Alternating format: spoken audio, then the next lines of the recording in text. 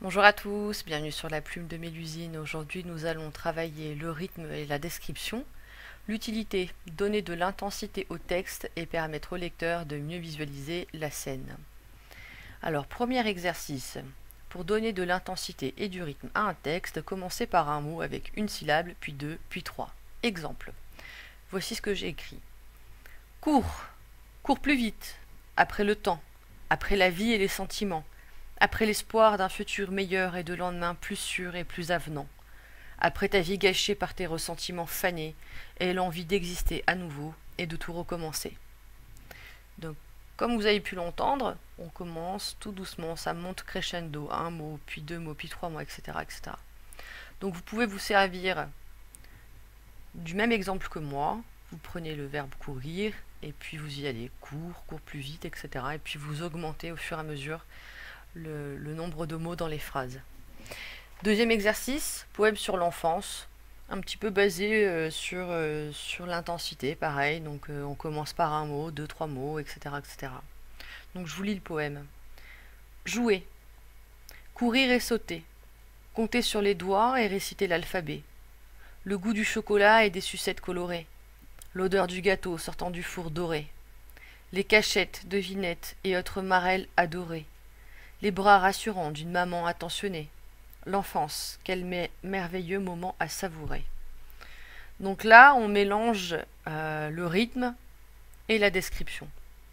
Donc on voit bien qu'on commence tout doucement et au fur et à mesure, on intègre de plus en plus de mots et de plus en plus de couleurs, de sensations, d'odeurs, etc. Troisième exercice. Donc là, l'impératif est donc de prendre le coupe-papier. vous imaginez un coupe-papier et vous faites une, description. Le coupe-papier. Le coupe-papier est sur mon bureau. C'est un bureau en verre, avec des pieds en métal.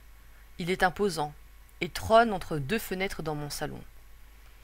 Dessus, des objets fonctionnels et usuels y sont disposés, comme le pot à stylo, prêt à déborder, la lampe bien dirigée pour m'éclairer, un cadre photo pour décorer, une corbeille à papier pour ranger et le fameux coupe-papier. Un ordinateur a remplacé, a remplacé la plume et l'encrier. Le coupe-papier est ancien. Un soldat en laiton y est posté et des formes celtiques y glissent le long de la lame en acier. Il est le symbole même de l'ordre et de la discipline. Il tempère mes envies sauvages d'ouvrir mon courrier en le déchirant avec l'index d'un bout à l'autre et en manquant de l'éventrer. C'est vraiment une bonne invention quand au final je pense à l'utiliser. Et donc là, moi j'ai mis une toute petite photo sur mon texte euh, avec le vrai coupe-papier. Donc ce coupe-papier il existe, il est vraiment sur mon bureau. Et donc j'en ai fait une description tout en euh, essayant de le mettre dans un texte un peu poétique. Donc vous, vous n'êtes pas obligé de prendre le coupe-papier, vous pouvez prendre... Il euh, faut que ce soit quand même un objet assez sympathique, hein. vous n'allez pas me prendre un stylo ou un ciseau ou une règle. Mais euh, ça peut être un cadre photo, ça peut être un objet de décoration, euh, ce qui vous paraît le plus, euh, le plus sympathique à intégrer dans un texte. Moi, je suis restée sur le coupe-papier, je trouvais ça un peu poétique.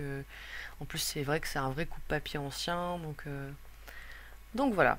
Donc c'est tout pour aujourd'hui, pour les exercices avec rythme et description. Je vous remercie de me suivre.